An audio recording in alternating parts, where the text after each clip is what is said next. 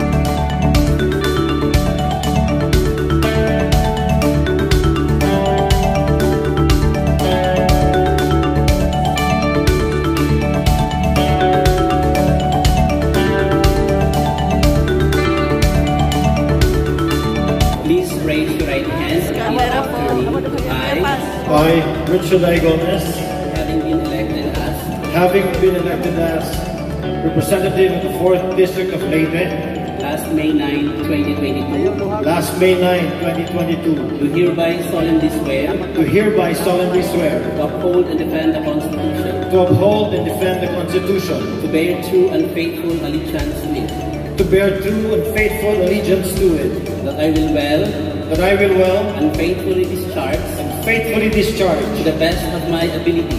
To the best of my ability. The duties of my present position, the duties of my present position, that I will obey the laws, that I will obey the laws, legal orders, legal orders, and decrees and decrees promulgated by the duly constituted authorities promulgated by the duly constituted authorities of the Republic of the Philippines, of the Republic of the Philippines, and that I impose this obligation and that I impose this obligation upon myself upon myself voluntarily voluntarily and without mental reservation without mental reservation or purpose of evasion. or purpose of evasion. So help me God. So help me God. Congratulations. Thank you.